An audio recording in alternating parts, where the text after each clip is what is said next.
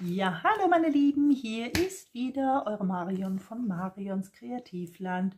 Heute habe ich ein Action Haul für euch. Ich war beim Action und zwar wollte ich nach den neuen Stanzen schauen.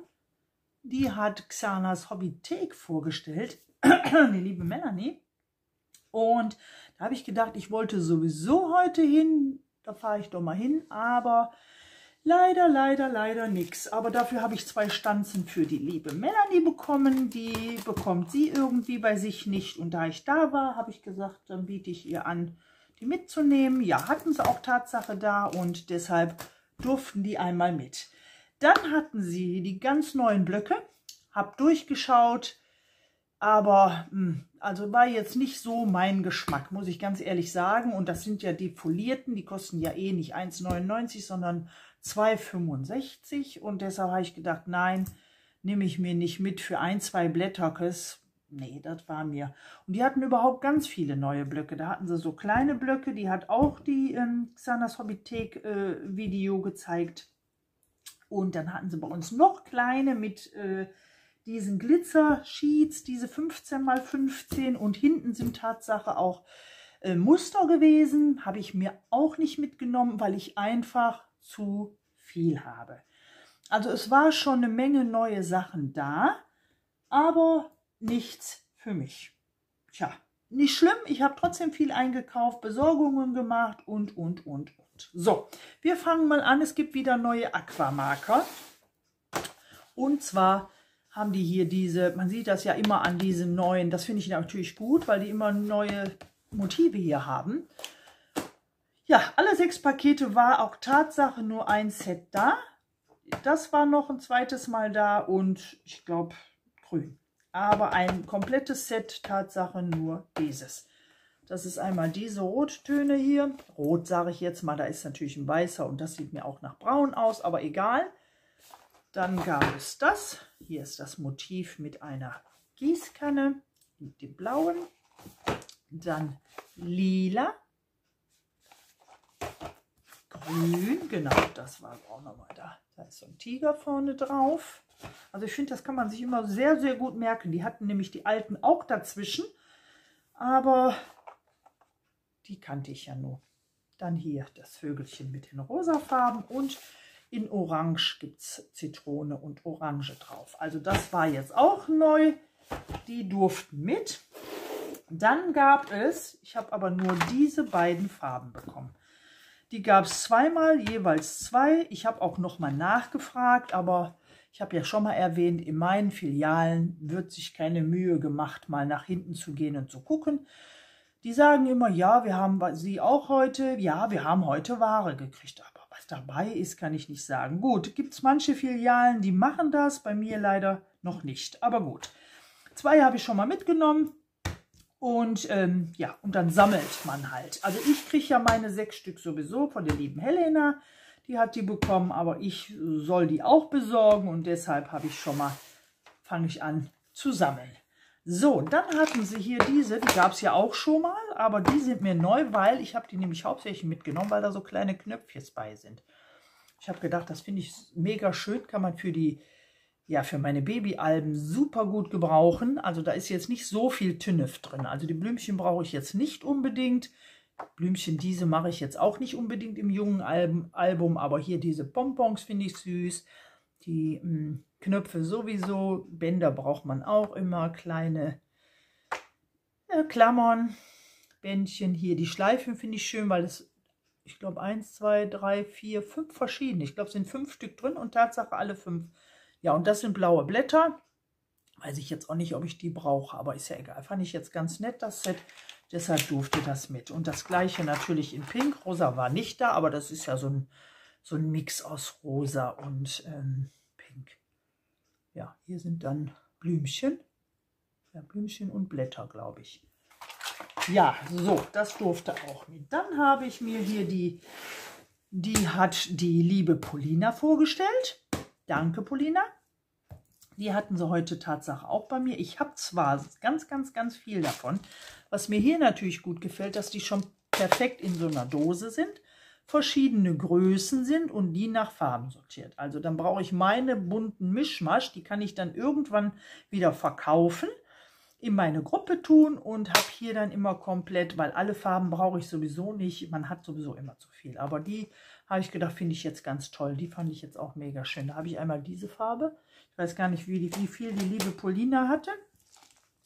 Dann hier einmal die Farben. Die sind natürlich nicht selbstklebend, da muss man sich selber dann halt so Kleber drauf machen, aber haben wir ja. Ne? Und blau und grün. Also blau und hier so ein schönes Grün. So, das durfte auch mit. Dann habe ich mir diesmal auch diese Döschen.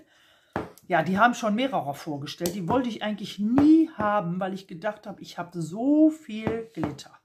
Tatsache ist aber, dass ich nicht viel Glitzer habe, sondern Schüttelelement, also was man für Schüttelkarten benutzen kann. Und ich habe euch ja jetzt in meinem letzten Video die neue Kooperation mit One Day Saving. Da habe ich ja die ähm, Schlüsselanhänger, den Rest mit Glitter gemacht. Hatte ich ja gesagt, ich hatte jetzt nicht alle Farben da. Und da ist mir nämlich aufgefallen, mh, ich habe gar nicht so viel Glitterfarben. Und da waren, Gott sei Dank, hatte ich es auf meinen Zettel, sonst hätte ich es nämlich wieder vergessen. Und da habe ich mir einmal die Pötte mitgenommen, die da waren. Ist ja dieses lila Ton. Dann hier grau, weiß, schwarz. Das schwarze, wie gesagt, hätte ich gut gebrauchen können für die Minimaus. Dann hier diese Goldtöne. Und grün-blau. Also Türkis noch. So, vier Pötte waren da. Ich glaube, gibt auch nur die vier. Und ja, habe ich gedacht. Und die kann man natürlich auch gut ausgießen. Viele haben ja Probleme mit dem Öffnen. Ich bin mal gespannt. Die liebe Polina hatte da keine Probleme mit. Die hat das da sogar noch nicht mal mit was richtig Festem reingekloppt. Aber gut, vielleicht sind ja auch manche Dosen anders. So, die vier Dosen habe ich dann auch mitgenommen. Und was ich noch gefunden habe, das fand ich ganz niedlich hier, diese, ja, die habe ich ja auch ganz, ganz, ganz viele. Ich mag ja am liebsten die selbstklebenden und dann hat mir das Rosa hier gut gefallen. Weiß habe ich auch genug. Die hatten ein Blau, aber das Blau, das war, ah, nee, kann ich gar nicht beschreiben, so irgendwie so ein Mix hier. Aber ich, wenn, möchte ich gerne ein Hellblau. Klischee, ne, Hellblau für Jungs, aber das passt halt zu meinen Papieren für meine ähm, Alben halt, ne? Und das fand ich jetzt halt sehr schön. Und dass die selbstklebend ist, finde ich natürlich mega. So, jetzt gehen wir mal zur Osterabteilung. Ach ja, genau, in der Osterabteilung habe ich mir hier diese, hier, die gab es dann, gibt es ja zu Weihnachten auch. Da gefiel mir eigentlich tatsächlich nur die Hasen. Die finde ich mega süß. Und dann gab es noch hier diese grünen Häschen. Also die finde ich süß. Also die, die Küken hm, brauche ich jetzt nicht wirklich. Ich glaube, die verschenke ich dann irgendwie an den Kindergarten oder so. Die können damit basteln vielleicht. Also mir gefallen nur die Hasen. Und alle Hasen brauche ich natürlich auch nicht. Aber ja, deshalb durften die mit. dann gehen wir rüber zur Kinderabteilung. In der Kinderabteilung habe ich bekommen diese, also das war auch ein Auftrag für mich.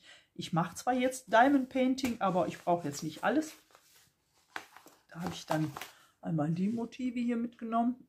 Da gab es äh, sechs verschiedene. Drei Stück habe ich jetzt mitgenommen. Zwei waren Auftrag, die habe ich jetzt mitgenommen, weil das auch süße Tierchen sind. So, dann habe ich nochmal, weil die Polina das gezeigt hat in ihrem Video, habe ich mir die auch mitgenommen. Ja, sind jetzt auch kein Schnapp, 1,99, aber natürlich mega wegen den Stanzen, wegen den Stencils hier drin.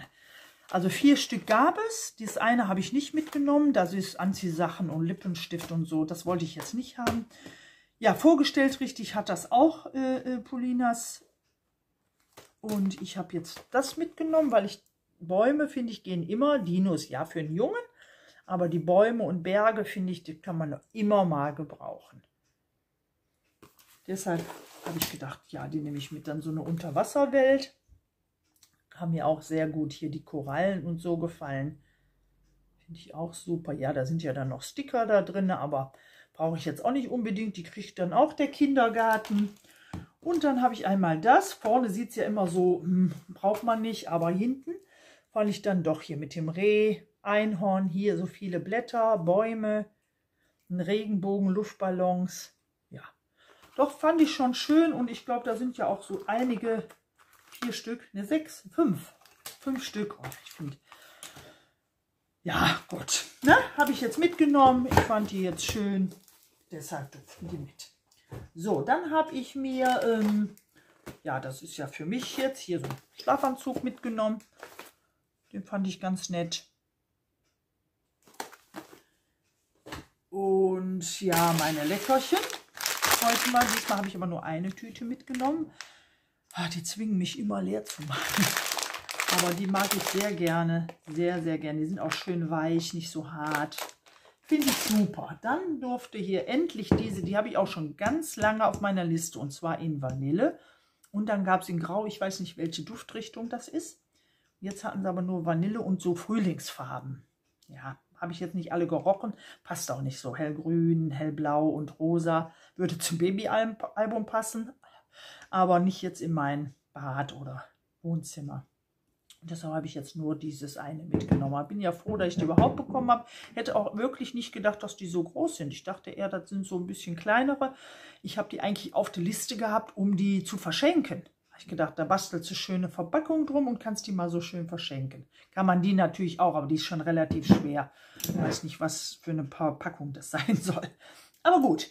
So, und dann habe ich noch mal Masken gefunden. Ich habe ja damals Masken, die Disney-Masken gehabt und ich habe ja davon ein Album gemacht, ein Disney-Album und habe die Masken dazwischen gesteckt immer. Ja, und jetzt haben sie neue gehabt. Da durfte einmal, also vier Stück, habe ich auch alle vier genommen. Das ist, ähm, ja, Eiskönigin, ne? Das sieht aus wie Pocahontas. Hm, ja, könnte jetzt Ariel sein, kann aber auch, ne? Und nochmal die Jasmin von Aladdin. Ja, finde ich immer ganz schön. Für Disney-Fans finde ich die super. Auch wenn man erwachsen ist, kann man Disney-Fan sein. Ja, meine Lieben, das war mein Einkauf. Ja, wie gesagt, die Stanzen habe ich leider nicht bekommen. Naja, vielleicht bekomme ich sie besorgt. Das wäre natürlich mega schön weil ich habe, wie gesagt, auch nicht mehr so die Lust, immerhin zu fahren für äh, umsonst. Also wie gesagt, heute hatten sie wirklich viele, viele neue Sachen da, die ich aber allerdings nicht brauche und dann kaufe ich die auch nicht. Man hat sowieso so viel unnötigen Kram. Ja, ich hoffe, mein Video hat euch gefallen. Ich wollte auch noch mal alle, alle, alle, alle treuen Abonnenten grüßen. Vielen, vielen, vielen Dank, dass ihr mir so treu bleibt und dass ihr mir zuschaut und Bleibt alle gesund. Ich freue mich, dass, ich freue mich, dass ihr zu meinen Abonnenten gehört. Tschüss, meine Lieben. Eure Marion von Marions Kreativland.